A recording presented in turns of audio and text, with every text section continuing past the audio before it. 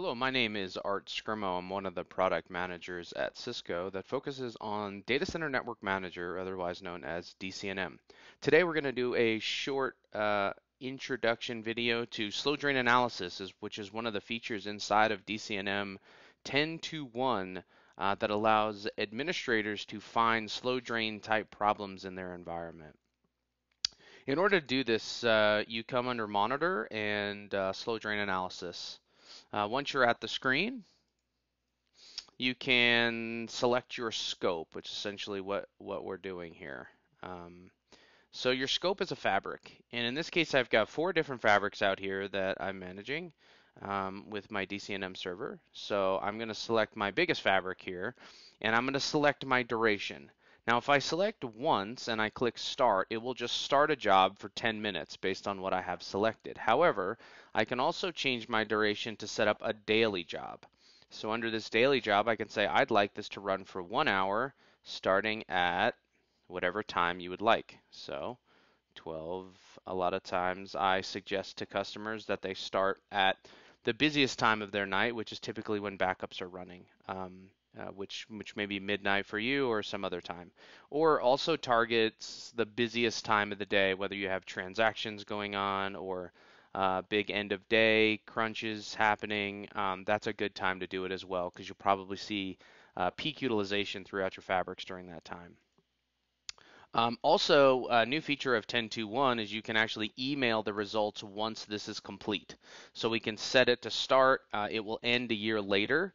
Um, so it'll just run every single day for one hour and you can have the results emailed to whoever you want to, right? So we're just going to run one job uh, and I'm just going to run it for 10 minutes and I'm going to click the start button.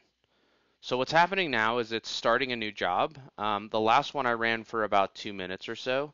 Um, and I did get some pretty decent results. This is a test environment or a QA environment um, inside of one of the Cisco labs, and uh, we definitely have some traffic happening.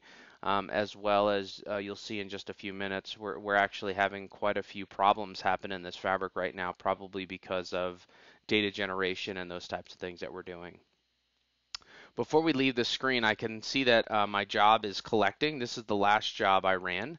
Uh, it's completed. Uh, and uh, uh, there's a couple other things I wanted to talk about on this page, and then we'll go look at the results. So the collection configuration information is an absolute great area of the of this feature that explains what all of the counters are that we're about to go investigate. It explains what credit loss is and link resets and timeout discards. And if you've seen any other other slow drain presentations done by Cisco, we're essentially leveraging the same counters uh, in order to find fiber channel flow control type problems within your environment. So what we're going to do now is I'm going to continue to let this run, but I'm going to click on this uh, other job that I ran just a few minutes ago. Uh, and I only ran it for two minutes, and um, the results are pretty staggering actually. Uh, there's quite a few things going on, and you can see that they're denoted by the different colors. Now within this, you can see that there's a slider bar here up at the top that shows you when some of the data was collected. And I, like I said, I only ran it for two minutes, so but what you'll see is as I start to slide this, you'll see that that data changes. Uh, you'll see like the level 1 data here changes because every collection interval, which is every 10 seconds while this is running, we're getting different counters. So there's an active problem going on within this fabric. And as you can see, as we get closer, the numbers go down uh, because the numbers uh, change. And actually, some of them will even fall off of the screen as they don't meet the criteria anymore um, based on the timing. So I'm going to zoom this back out to full view here, and we'll go we'll go all the way out to here as well. Uh, if you want to, you can put in a specific time that you're looking for. You can certainly do that. Um, you can also use the zoom functions over here, where you can use max. Um, you can see there's another job going on, um, or there's another job that's that's run. Um, so there's a lot of great information out here. so what am I looking at? So the data shows me uh, we've got all these counters that I was just talking about that's up in this collection configuration area. And those are all denoted in their own column. Now we have some level 1, some level 2, and level 3. So what does that mean? Level 1 is the least severe problem. So typically it means um, that there are problems potentially on the horizon and we're starting to see problems but it's not as severe as a level 3 problem. So a level 3 problem is things like credit loss, resets, uh, which are very um, very impacting. Uh, discards as well can be impacting as well, but level 1 information tends to just be more I don't want to say notification, but it is sort of an indicator of a problem that is uh, less severe. Um, so what this means to me is I look through this table here, and I've looked at this data quite a bit. Um, I can see that we've got some pretty busy ports. So this one here is pretty busy. Um, it looks like it's a Unity. I can click on that and I can actually see a chart of when these problems occurred and what the value was during that time. Um, I can see there's another, looks like another, I'm not really sure what this is. Uh, looks like another host interface here. Um, and it's pretty busy as well. And it's it's the one that's the busy here is the RX buffer to buffer timeouts to zero. All the other ones have zeros, right? So you can see that those are xed out. Uh, so that's really what the problem is here. It's it's receive buffer to buffer credit on the on the port uh, FC1 slash 15 is going to zero.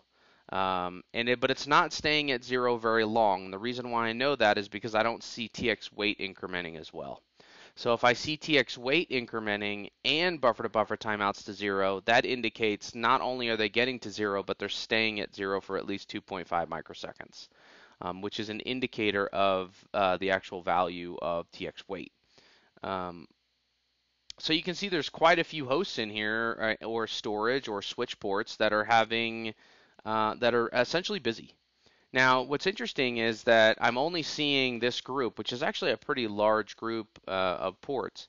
However, if I were to go turn this filter on, which is on by default, um, I can see all of the ports in this fabric. So as you can see, there's a lot of ports right? And so part of the difficult thing of slow drain is trying to indicate or find where problems are. Um, that's one of the great things about this filter, and it's what I refer to as, as the needle in the haystack. It really gets you in on focusing on what are the ones that are most important. And we color code those as well based on the decimal point. So as we see how severe a problem is, um, how big the number is, we color code it so that you know exactly what to look for. Now also you can sort by specific columns. So if you want to look by TX buffer to buffer, you can, or you can look by RX buffer to buffer as well, or you can look by switch name, however you want to do it. Uh, there's a, there's a host of different ways in which you can look at this data, uh, and it is filtered already, so you can filter based on different criteria also. Uh, there's a lot of great information uh, within slow drain analysis, and this really helps customers to try to pinpoint and find problems inside their environments. Uh, and I encourage you, if you don't have DCNM today, to get it installed in your lab. You get a 30-day trial license. Uh, go out there and run it. Uh, you might be surprised what you'll find out there. Um, and you can definitely help get ahead of the game as it re relates to fiber channel flow control in problems inside your environment. Thanks again for tuning in, and uh, we'll see you on the next video.